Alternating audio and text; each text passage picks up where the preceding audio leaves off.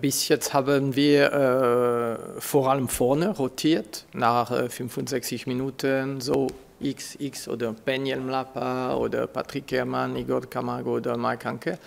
Das hat äh, bis jetzt fast immer äh, etwas gebracht, gut funktioniert und wir werden bis 14. Äh, Dezember so äh, machen, denke ich. Sie haben einen guten Lauf, sind sehr effizient, sehr kompakt und viele Torschanzen.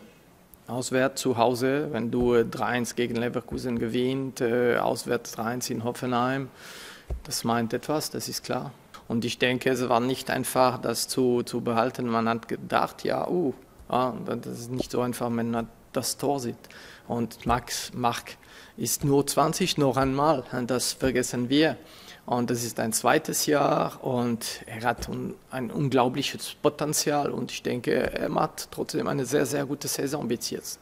Luc de Jong hat äh, mit dem Reha-Trainer bis jetzt äh, auf dem Platz schon trainiert. Er wird wahrscheinlich ab Donnerstag mit der Mannschaft, mit seinen Kollegen wieder trainieren. Erste Training seit ein paar äh, Wochen.